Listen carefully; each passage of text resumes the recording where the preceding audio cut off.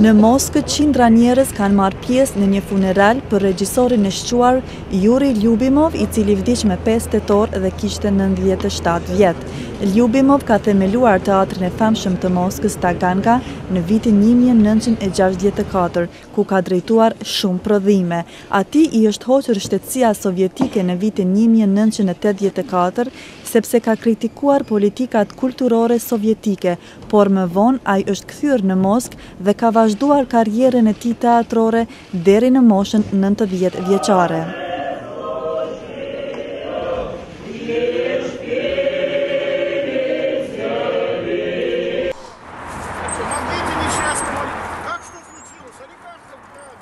Partia opozitare në Moskë, Jabloko, ka protestuar para Kuvendit rus kundër një projektligji i cili ofron kompenzim shtetëror për rusët, asetet e të cilëve janë të ngrira nën sanksionet ndërkombëtare.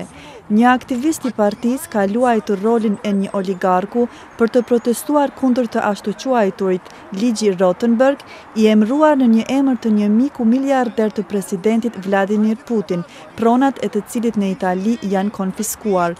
Projektligji është duke u diskutuar në lexim të parë.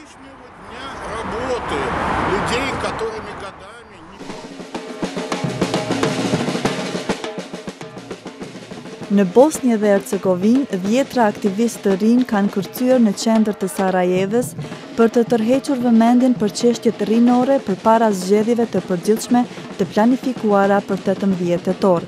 Aktivistët nga gjithë Bosnja kanë paraqitur pesëdhjetë çështjet prioritare që ata thonë se qeveria e re do të duhet t'i adresojë. Kërkesat e tyre përfshijnë mundësitë më të mira për arsim dhe vende pune, si dhe integrim të shpejtë në institucionet evropiane.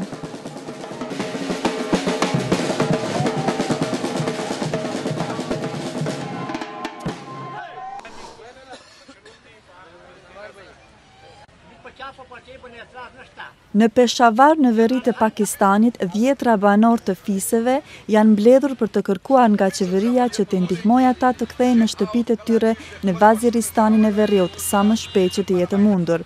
Ata kanë paralajmëruar se do të mbajnë një protestë në Islamabad nëse kërkesat e tyre nuk përmbushen shpejt.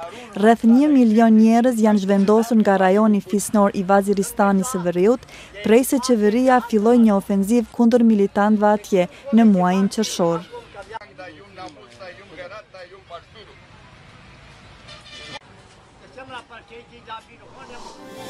Ishin këto video lajmet e përgatitura nga Radio Evropa e Lirë.